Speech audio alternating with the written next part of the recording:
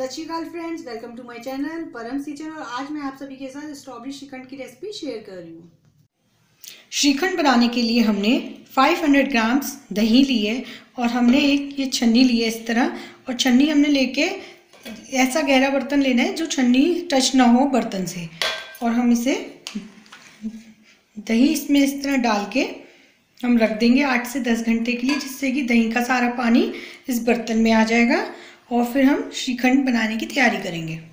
मैं इसे इस तरह छन्नी में दही को डाल के रखेंगे आठ से दस घंटे के लिए। आप चाहें तो आपके पास अगर कोई मलमल का कपड़ा हो, आप उसमें दही डाल के गांठ लगा के अच्छे से रख सकते हैं तो उससे भी उसका पानी निकल जाएगा। आ, ये मैं इजी तरीका बता रही हूँ आपको कि आप इस तरह रख दें आठ से दस घंटे के लिए और सारा पानी निकल जाएगा स्ट्रॉबेरी श्रीखंड के लिए हमने दही को आठ से दस घंटे हैंग करके रखा था। अब इस तरह उसका पूरा पानी निकल गया और अच्छे से क्रीमी टेक्स्चर आ गया सबसे पहले हम इसे हाथ से इस तरह एक से दो मिनट इस तरह हल्की सी क्रीमी टेक्स्चर दे देंगे।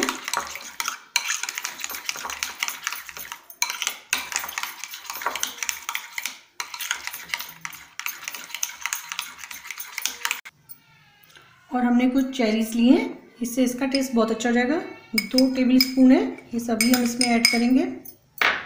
और ये स्ट्रॉबेरी, फ्रेश स्ट्रॉबेरी ली हमने और पंद्रह से बीस स्ट्रॉबेरी हमने मिक्सी में डाल के पीस लिया है, प्यूरे बना लिया है और अब हम इसमें ये ऐड करेंगे।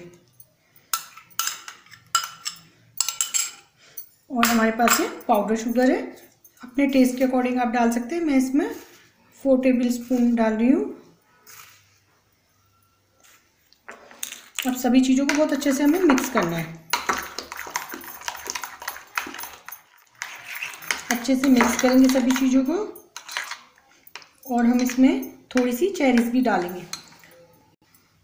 थोड़ी सी चेरीज वो भी ऐड करेंगे, इससे इसका कलर और भी अच्छा होगा और जब हम इसे सर्व करोगे किसी को तो वो खाएगा तो ऐसे चेरीज और स्ट्रॉबेरी सबकी बाइट आएगी तो बहुत ही टेस्टी लगेगा। अभी बन के बिल्कुल रेडी है और अब हम इसे सर्व करेंगे।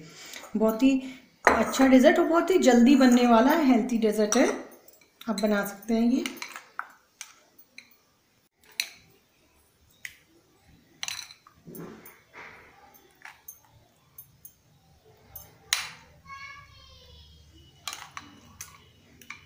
नेचुरल कलर आया है स्ट्रॉबेरी फ्रेश लेने से।